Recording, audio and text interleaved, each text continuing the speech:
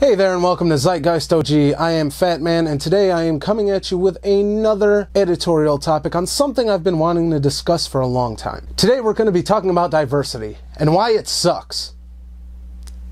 So let's get into diversity for a minute. Diversity can be a really beautiful thing, man everybody commingling and working together, equal opportunity to go around. There's really only one instance in which diversity doesn't work, and that's when it's crammed down your throat harder than I crammed donuts down mine in the CVS bathroom while I'm supposed to be dieting and my mom is waiting outside.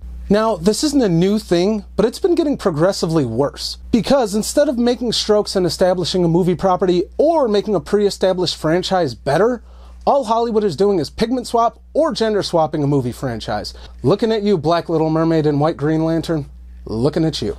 This is an absolutely unhealthy pattern and does the absolute exact opposite of what we're trying to achieve. And without further ado, I'll go into my points on why I think that is. Point number one definition. For a brief second, let's pretend we're all back in second grade and let's go over the definition of diversity. Being diverse, mixed, variety, no fucking shit. That's why, contrary to popular belief, a film like Black Panther is not diverse. And neither is the Ghostbusters reboot. Sorry, not sorry. Hashtag me something. Just because you have all minorities or all women in a role does not diversity make. And that's not even me. That's a fact, Jack. When no one can properly define what makes something diverse, or cut context and rush to define it their own way, things get lost in the shuffle and nobody winds up benefiting anything. In order for something to be truly diverse, it requires a little bit of everything. Having an all black cast or an all female cast doesn't make something diverse. Now, I want to specify in no way, shape, or form am I saying that that is a bad thing. Movie creators have the right to cast their movies however they want it and choose inclusivity if they want it to be that way. But in our current culture where people are accused of either being racist, misogynistic, or homophobic for not casting a certain way, which is absolutely ridiculous, this plays to a colossal disadvantage for everybody involved. So this brings me into my second point, and that is quality. Seriously, there's nothing more important in film than quality. I don't even know why this needs to be stated, but apparently some people don't get that message. Now, the two films I named previously are going to be used to springboard this, but really you can apply this to about two dozen films a year at this point. These are simply the first two examples that came to my head. So, what's the difference between Black Panther and all female Ghostbusters? Well, for one thing, Black Panther's really good. Go see it. But on a serious note, Black Panther, while not really breaking any new ground for the Marvel community, is beautifully acted, well written, terrifically choreographed, and all over the place just leaves a really, really solid impression. While not technically diverse, it exemplifies the best traits of every single actor in it and actress, and is allowed to breathe because of the tremendous talent of the cast. But what of Ghostbusters? Well, that's kind of where my next point ties in. I'm personally not a fan of the cast, but I've seen all of them. Uh, well, most of them be super, super talented elsewhere. The problem here is when you strive to diversify something that really doesn't need to be, you do wind up tanking the quality. With Ghostbusters, you have a world that's already been established. You have a world that's already shaped by characters that occupy that universe. The characters have absolutely no room for growth and they can't have their own experiences because no matter what, they're always going to be tied to the four people that filled that role before them. Especially, especially when the four leads here are just stripped down versions of their male counterparts, even down to the token black one. And basically, this all comes from pushing to change something pre existing to fill a diversity narrative rather than taking these ladies and creating a new property to have them all dominate. Look at films like Who's Afraid of Virginia Woolf, Wolf, or even a personal guilty pleasure of mine, Mean Girls. These movies succeeded in completely different ways, but at their core retained similar qualities for why everything in them worked. Strong characters, great motive for these characters, development over the course of the film. How rare is that these days? They actually had a purpose and we cared about the outcome in both films. While neither movie offered an exactly fresh idea, they both did something original and creative with that idea. When you're not hampered by the need to feel like you have to do something for diversity's sake, you wind up with a really, really great product. Take something like Who's Afraid of Virginia Woolf, which doesn't have an all female cast, but has the women in the movie absolutely steal the role away from everybody else involved. Elizabeth Taylor legitimately gave me chills during this. And that's what you get when you craft a unique role for a woman and just let her fill it and be absolutely amazing in it. And don't just plug her into a whole diversified cast just on the merits that she has a vagina. Trust me, it works letting talent speak.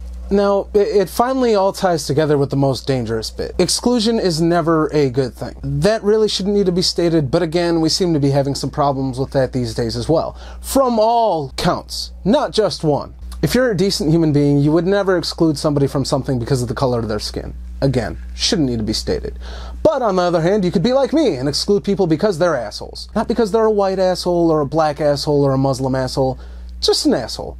Judge people by the individual. That's your moral lesson for this video. Now moving on to being a dick. Anyway, it's no secret that women and minorities suffered for a very, very long time in Hollywood, but now we live in a culture where that's almost celebrated, which isn't a bad thing. It's nice that everybody gets to share the playground. I dig. Ironically, though, we seem to be taking kind of a step back these days. Nowadays, and by the way, it's about to snow here soon, so your salt is definitely, definitely welcome. If you're guilty of being white in Hollywood, a wrench kind of gets thrown into the whole diversity agenda. And no company on earth exemplifies that more than Disney. Whew, the sweet, sweet irony.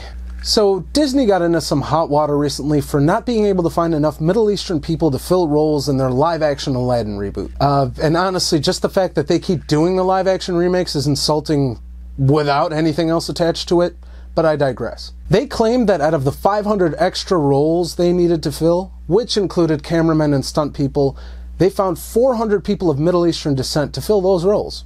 However, Hollywood couldn't accept that number. That was 100 too short and demanded that even though cameramen typically don't appear in movies, that Disney do something about it and make sure everybody there was Middle Eastern. Disney then, and I shit you not, started browning up their white people. That sounds like a weird shit fetish. What the hell is going on? The funniest thing is, is that when Disney got caught doing this, they didn't apologize for that. Disney apologized for not finding enough Middle Eastern people and having to include white people. It was like a little kid being forced to share their toys. Oh man, I didn't wanna, but mom said I have to let the white people play. What in the actual hell? Uh, like I said, weren't we offended by this not that long ago? Isn't forcing somebody to paint their face to represent another culture so much worse than just letting that person, who by the way is an extra, is an extra that's not even credited in the movie or somebody that's an electrician on set or operates a camera just be a part of the damn thing as is? Look, and I know white people have done this too. If I gained a pound for every time America whitewashed a Japanese film, I'd. Eh, well, this, this actually looks about right. The point is, putting the shoe on the other foot isn't the answer. I, at this point, feel like we should have moved past all this everybody's guilty of something. Nobody's denying any of that. People have been mistreated in the past. But the answer isn't to mistreat people now. Just because we are in a cultural boom and celebration of people and races and all kinds of orientated people getting roles that they were previously barred from doesn't mean we could shame other people for being in them too much at some point. That's fucked up no matter which way you slice it.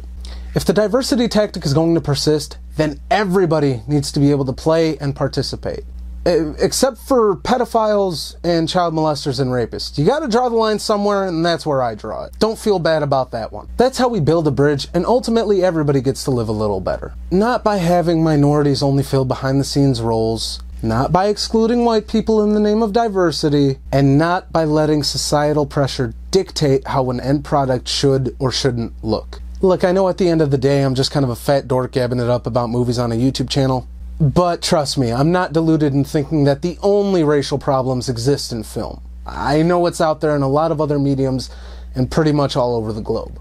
The world's problems may not get solved by fixing the cesspool that is Hollywood, but if there's one thing I know, it's that entertainment really does bring people together, and surely this would be a start.